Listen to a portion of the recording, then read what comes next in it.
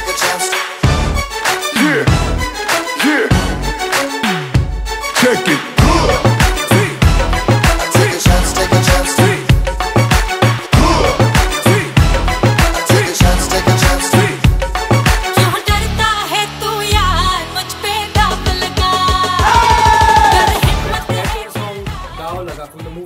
movie Aage Se Right and was released in 2009 and was a sensational song at that time. But this song suits pretty much the Lenovo Z2 Plus right now. I know many of you want to buy Lenovo Z2 Plus but uh, are scared to buy one.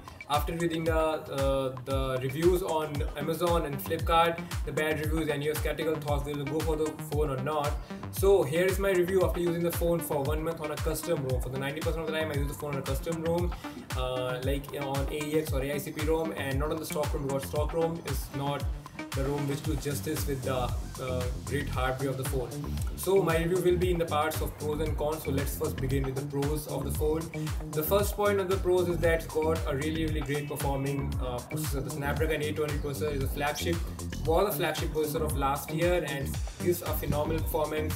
The benchmark scores are really great, even though you should not trust the benchmark scores a lot, but still on the real performance and even for the heavy tasking, uh, even you want to do a multitasking, you want to render a video, you want to do a heavy gaming, this phone will not let you down for sure. And especially in this price segment, this is the one phone which can guarantee you great performance, excellent gaming, uh, very nice memory management, and a top-notch overall performance and overall feel.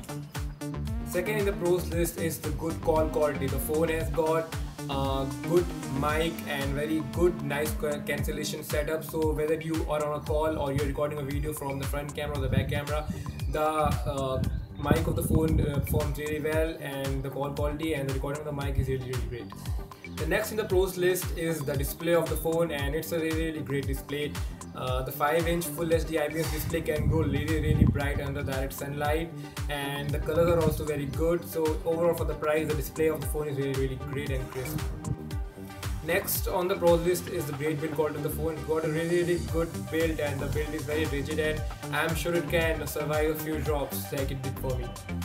Next is the camera. The camera of the phone is pretty good for the price and the camera has got slow-mo recording, 4K recording and even the, the pictures taken from the back camera are really really good when there is proper light when there is ample amount of light the camera is capable of uh, capturing good details but uh, the night shots are not that great there are noise in the n- night shots but uh, we really can't uh, uh, but we really can't ask so much in this price segment. The front camera is also very good, it's got 8 megapixels. So for the selfie lovers, the front camera is really, really great.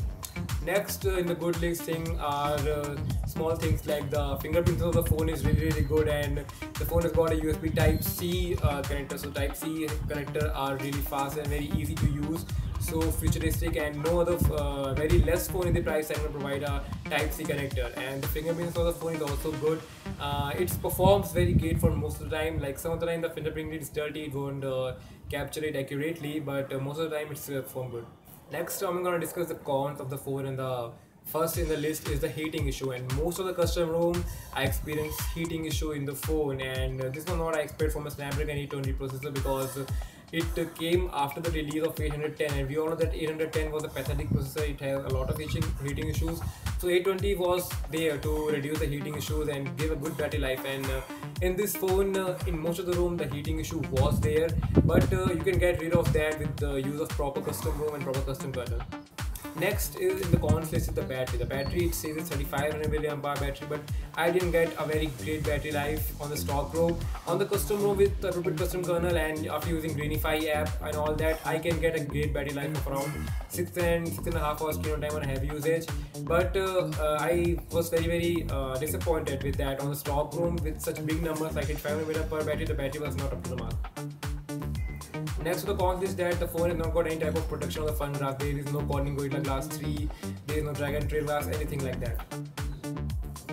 Many of you will ask that uh, whether the phone supports Qualcomm QuickCharge 3.0. So my friends, the phone does not support Qualcomm QuickCharge 3.0. I have not personally tested it, but I have read it in many of the XDA threads from very good senior developers, and they have said their phone does not support Qualcomm QuickCharge 3.0. Please don't waste your money on buying a Qualcomm QuickCharge for this phone. It's not supported.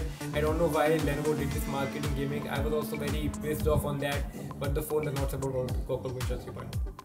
So that was it friend, that was my review of Lenovo Z2 Plus after using for one on a custom ROM and I am pretty happy with the phone. And recently the price of the phone dropped very very low to 10,000 rupees for the 3GB RAM variant and 11,000 for the 4GB RAM variant.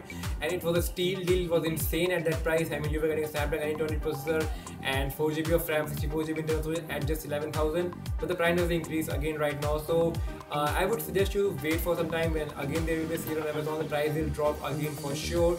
And you might just should not miss this time grabbing one. And um, this was my video for the review of Lenovo Z2 Plus.